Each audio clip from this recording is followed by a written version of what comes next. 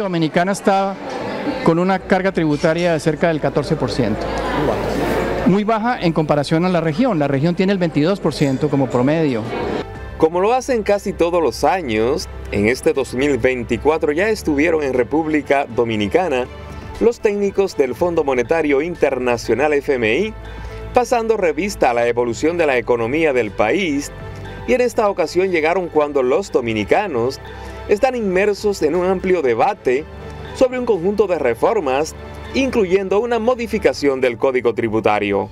Ya los expertos del FMI se fueron y desde sus lujosas oficinas en Washington enviaron al gobierno dominicano su receta sobre lo que se debe hacer en materia tributaria, señalando que resulta imperiosa la aprobación de una reforma fiscal integral que eleve los ingresos de forma duradera mediante una ampliación de la base tributaria, eliminar las exenciones y la evasión fiscal, mejorar la eficiencia en el gasto público y reducir los subsidios al sector eléctrico. Tras la visita de los técnicos del Fondo Monetario Internacional, la reforma tributaria ahora navega entre lo que pide el fondo y lo que quiere el gobierno. Solamente hablamos de reforma fiscal, pero está la reforma constitucional que es importante para fortalecer nuestras instituciones y nuestra democracia.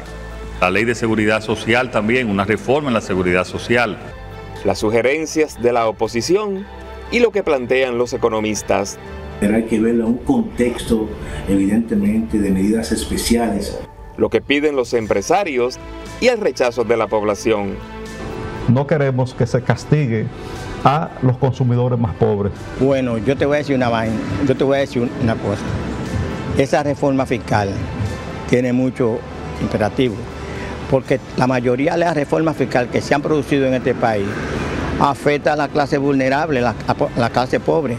¿Por qué? Porque inmediatamente aumentan los artículos de primera necesidad.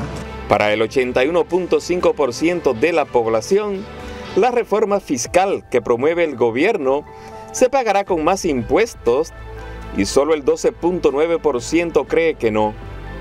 Así lo establece la decimosexta encuesta del grupo ACD Media, cuyos resultados también arrojan que un 56.7% de la población está en desacuerdo con la reforma fiscal, para la cual el gobierno cuenta con la aprobación de un 39%. Sin obviar lo que dicen los representantes de cada sector, tras el debate la última palabra la tienen los miembros del Congreso Nacional.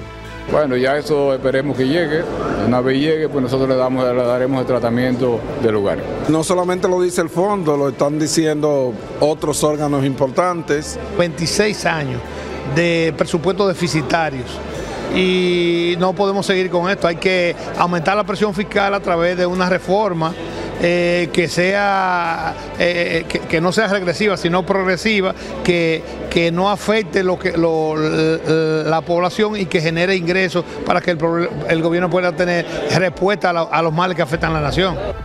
En su reciente informe sobre la economía dominicana, el Fondo Monetario considera adecuada la propuesta de ley de responsabilidad fiscal que cruza en el Congreso para situar la deuda pública en una trayectoria descendente.